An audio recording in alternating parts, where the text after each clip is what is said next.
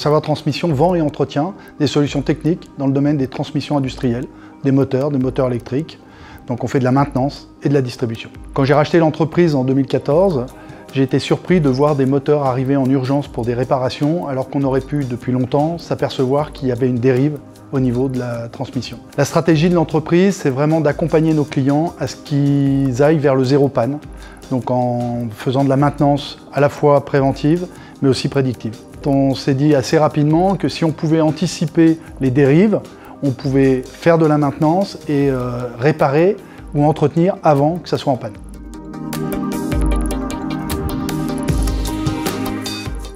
L'intelligence artificielle va nous permettre de détecter avec l'ordinateur des choses qu'on ne verrait pas à l'œil nu. L'intelligence artificielle va être embarquée dans notre capteur Mataki. Mataki, c'est l'œil qui protège du mauvais œil en Grèce. Et ce capteur va nous permettre de mesurer température, hygrométrie, pression atmosphérique, vibration et choc et champ magnétique. Tout ça de manière locale. Dans un premier temps, l'intelligence artificielle va nous permettre de mesurer si la machine est en marche ou pas, parce qu'inutile de mesurer une machine qui ne fonctionne pas.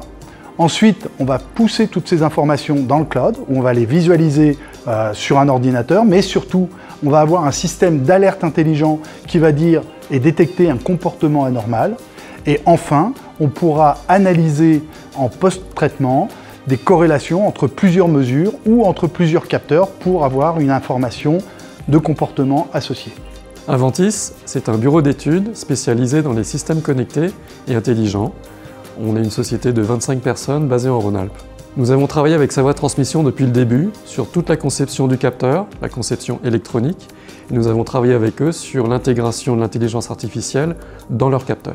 Nous sommes partenaires de ST Microelectronics, le géant français des semi-conducteurs, qui a publié des outils et des librairies qui nous permettent d'aller beaucoup plus vite pour intégrer de l'intelligence artificielle dans les capteurs.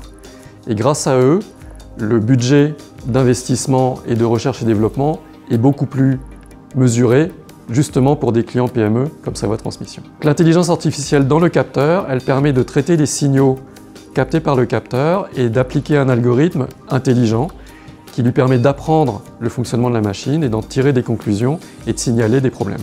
Elistat est une société qui a été créée il y a trois ans et qui avait pour but de transformer des recherches que nous avons faites à l'Université de Savoie-Mont-Blanc dans un produit industriel. Pour euh, Savoie Transmission, nous avons utilisé un logiciel Elistat qui est proposé par notre société et qui permet de faire de l'analyse de données.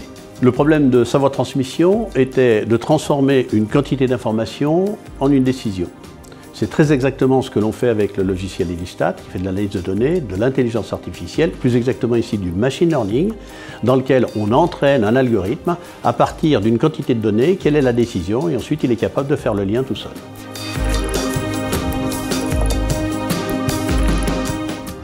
Globalement, la principale difficulté, c'est que l'homme se laisse dicter l'action par la machine. Une fois qu'on a formé, qu'on a expliqué comment la machine faisait pour donner le résultat, ça se passe bien et du coup, ça part dans les process. La difficulté dans un projet comme celui-là, c'est l'ensemble des compétences dont on a besoin.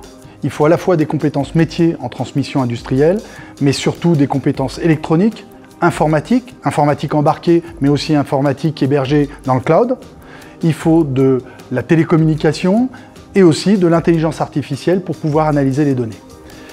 Donc pour ce faire, la difficulté, c'est de réunir ces compétences autour de la table et travailler avant tout sur l'intelligence collective avant même de penser à l'intelligence artificielle. Cette intelligence collective permet à faible investissement d'arriver à des résultats comme notre capteur.